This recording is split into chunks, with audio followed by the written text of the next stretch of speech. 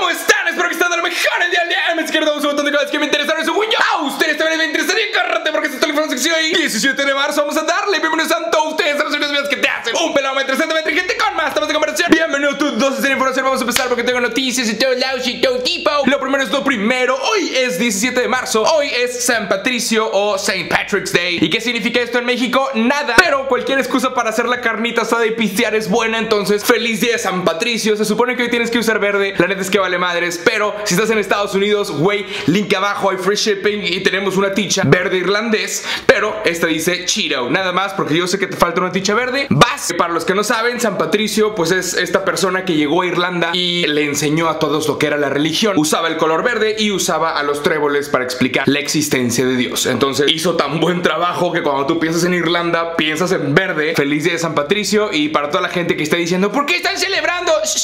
Deja que la gente sea feliz. Si la raza quiere celebrar puto San Patricio Está bien, ¿ok? Si la gente quiere celebrar Halloween Está bien. En México celebramos Navidad Y Jesucristo no era ni mexicano, cara. Pero bueno, ¿para qué nos metemos esos temas? Nada más, deja que la gente sea feliz. Si la raza quiere celebrar X o Y Está chido, güey. Cualquier excusa es buena Para echar la carnita asada. Nada más Ay, así cayeron. Hablando de carnita asada Vamos con noticias que vienen desde Nuevo León. Porque no todo risas y diversión En la tierra de la carnita asada. Este pedo me está preocupando un poquito. Acaban de anunciar que van a empezar a cortar el agua en sectores. Ajá, van a empezar a cortar el agua eh, por municipio dependiendo del día. Como si fuera la Ciudad de México, el, el hoy no circula. En la Ciudad de México, para los que no saben, para bajarle a la contaminación Y no sé si todavía está sucediendo esto Me encantaría que me explicaran en la sección de comentarios Pero hasta donde yo tengo entendido Si tú compras un carro en la Ciudad de México Hay ciertos días en los que no puedes circular. Aparentemente vamos a tener el hoy no circula en Nuevo León Pero de agua, o sea, no hay agua, no tenemos agua. Entonces por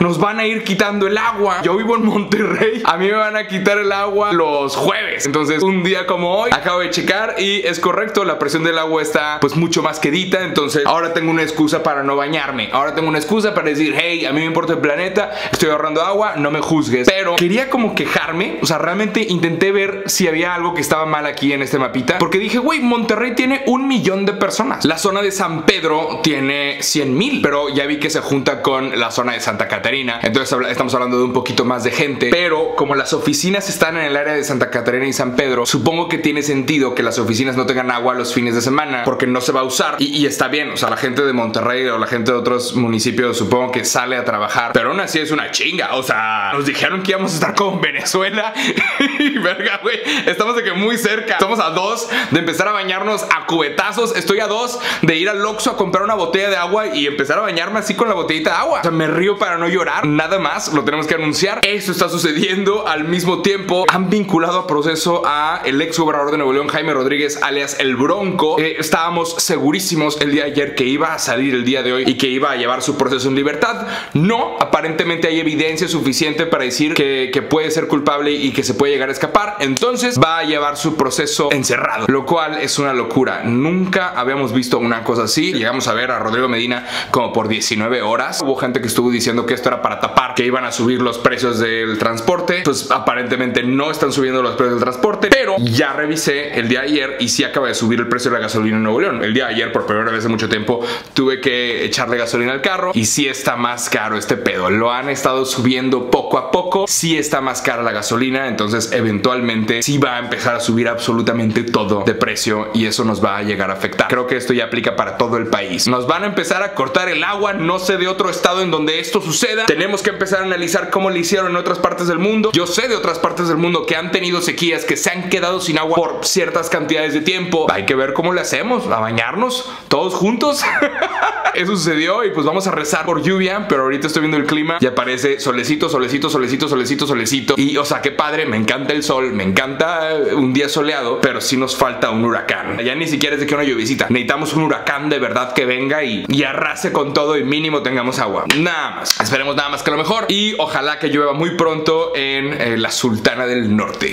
¡Ay, damas y caballeros! Pues no todo malas noticias. El día de hoy también tenemos noticias que vienen desde el Senado mexicano. Acaban de anunciar que por unanimidad con 97 votos a favor Se avala el convenio constitucional de la Agencia Latinoamericana y Caribeña del Espacio Firmado en la Ciudad de México. México será la sede de la Agencia Latinoamericana y Caribeña del Espacio por sus siglas ALCE Ajá, ALCE es la NASA latinoamericana y está con madre. Son pequeños pasitos hacia exploración espacial y es correcto, es necesario, aun y cuando sea nada más el nombre, por algo se empieza. Si tú tienes ganas de empezar un proyecto, empieza con el nombre. O sea, primero, de empezando desde el nombre, empieza con el nombre y una vez que tengas el nombre, ok, el siguiente paso. Y luego, ¿qué sigue? Y, y listo, un paso, paso paso. Y si todos los días avanzas poquito, en un año vas a tener un progreso enorme. Entonces, aun y cuando digamos, güey, falta un chingo para que lancemos cohetes al espacio desde México, pues ya tenemos una agencia espacial de todo Latinoamérica y está chingón que sus oficinas van a ser en México. Me pregunto desde dónde vamos a lanzar los cohetes. Supongo que tendría que ser desde un, un lugar cerca del mar para que el cohete pueda llegar a caer en el mar. Posiblemente Veracruz o Michoacán. O sea, tener ahí los cohetes para lanzar al espacio. Posiblemente lleguemos a lanzar desde uno de esos lugares. Me pregunto si hay una razón por la cual lanzan desde Houston o desde Florida. No sé si tendrá algo que ver con las coordenadas de la Tierra. No sé si sea más fácil.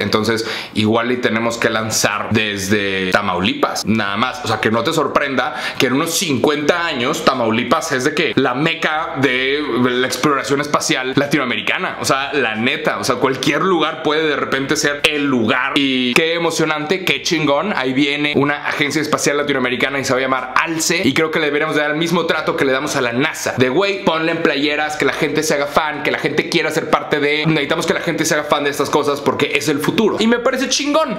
Pero bueno, ay, damas. Vamos con noticias de deportes. Y no, creo que esto entra en publicidad chingauna. Bueno, ¿se acuerdan ustedes del el boxeador de peso pesado Mike Tyson? Este peleador que en 1997 peleó contra Evander Holyfield. Y en el cuarto round, eh, Mike Tyson se volvió loco, lo quería matar. Él dijo en entrevistas: Yo lo quería matar. Se le acercó, le mordió la oreja, se la arrancó. Y después de que se la arrancó, le escupió. ¡Puh! La oreja de otra persona, usó un pedacito. El vio esto y la pelea continuó y cuando se acabó el cuarto round eh, tuvieron que suspender la pelea. Tyson se volvió loco, lo quería matar, pero se tuvo que meter la seguridad. Fue un pedo, estaban como muy calientes. Después de 10 años, eh, Mike Tyson se disculpó públicamente, dijo lo lamento mucho, no fue mi intención, fue el calor del momento. Le tomó 10 años hacer eso y se disculpó en frente de Oprah. Bueno, el de ayer acaba de anunciar que acaba de sacar un nuevo producto, estas gomitas de marihuana y son gomitas en forma de oreja. Y no, no cualquier oreja, son orejas a las que le falta el pedacito que arrancó Mike Tyson. Entonces, sí, se vayan a llamar los Mike Tyson Bites y son gomitas de marihuana en forma de oreja para que tú también, como Mike Tyson en el 97, le arranques la oreja a alguien y aparte te pongas hasta el culo. Creo que es publicidad chingona. Es interesante, es tomar un momento y aprovecharlo. Y sí, después de esta pelea, Mike Tyson perdió su licencia para pelear. Lo multaron por 3 millones de dólares, pero parece que ya ha recuperado el varo eh, nada más en puras entrevistas y en productos y en cosas. Y pues nada, no sé, me pareció chingón que sacaron estas gomitas, me pareció muy original. Y pues está cool que Mike Tyson se pueda ya burlar de esto. Ahora habrá que ver qué es lo que opina el contrincante, qué es lo que opina Evander Holyfield de que estén sacando gomitas, pues literalmente con la oreja que él tiene, porque es una oreja a la que le falta un pedacito. Nada más de ahí, de música. Noticias que vienen desde el Barcelona. Y ayer hubo una persona que me dijo, no se dice Barcelona, sí se dice Barcelona. Se dice Barcelona, Jacobo, dilo bien. No. O sea, chécale, se dice Barcelona con real. y hubo alguien también escribió, no se dice Spotify, sí se dice Spotify, ese es el nombre real. Pero bueno, le puedo decir Spotify. O sea, no hay pedo, es exactamente lo mismo. El mensaje se entiende. Pero bueno, ahorita es raza la que todo le molesta y no lo digas de una forma, dilo de otra. Todos lo podemos decir de formas diferentes, ¿ok?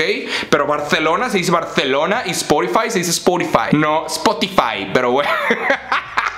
van a cagar, se van a cagar, pero bueno. Ya, ya hablamos de que Spotify acaba de patrocinar al Barcelona Fútbol Club. Eh, el día de acaban de anunciar que es muy posible que los patrocinios sean en realidad los nuevos discos de nuevas bandas o incluso sea para promocionar, escuchar a ciertas bandas en Spotify. Entonces es muy posible que lleguemos a ver cosas como Shakira en la playera del Barcelona Fútbol Club o eh, Justin Bieber o The Weeknd o Bad Bunny, lo cual va a ser una locura y seguramente los artistas les va a mamar eso, les va a mamar ir al Camp Nou, al Spotify Spotify Camp Nou les va a mamar ir y que los jugadores estén usando el nombre de su nuevo disco. Esto va a estar muy interesante, va a ser muy moderno y va a ser correcto. O sea, nada más nos va a tener hablando de esto, de güey, yo quiero la playera de Barcelona, pero con el disco de Bad Bunny. Güey, yo quiero la playera de Barcelona con el disco de The Weeknd. Esto va a estar muy chingón y habría que ver si incluso dan la opción de que pongas tu música en una playera de Barcelona, lo cual, o sea, el código del Spotify estaría muy cabrón, estaría muy bien hecho, eh, sería muy moderno, muy arriesgado, pero es completamente válido. Spotify es el patrocinador y, parece que hay una cláusula que va a permitir que esto suceda. Va a estar bien emocionante y pues ya quiero ver lo que pasa con este nuevo patrocinador y este equipazo que es de los más populares del mundo. Nada más. ¿Qué es lo que opinas al respecto? De ahí, no me Vamos con esta sección que ustedes ya conocen que se llama la Netflix o de las noticias de películas y series. No necesariamente sea Netflix. Bueno, tenemos dos noticias relacionadas con la industria del cine. La primera es que Amazon y Jeff Bezos acaban de por fin adquirir después de 5 años a Metro Goldwyn Mayer MGM, MGM Studios, que viene junto con 25 mil horas de títulos, incluyendo la franquicia de James Bond. Bueno, acaba de ser adquirido por Amazon y ellos quieren levantar Amazon Prime. Quieren que Amazon Prime pueda competir con Netflix. Entonces acaban de adquirir a esta mega productora eh, que tiene un montón de franquicias, un montón de cosas. Y son los de los leones. Ajá. Ahí viene eh, Jeff Bezos, ahí viene Amazon. Que ojo, Jeff Bezos ya no es el CEO de Amazon, pero seguimos pensando, seguimos conectando a Jeff Bezos con Amazon. Amazon acaba de adquirir a MGM, Metro Golden Mayer, y parece que Amazon Prime ahora van a ser el servicio de streaming que venga con un montón de películas y seguramente se los van a quitar a los demás servicios de streaming, lo cual pues va a estar bien interesante. Nada más, eh, la guerra de los servicios de streaming es una locura y le están metiendo un varo y le costó nada más y nada menos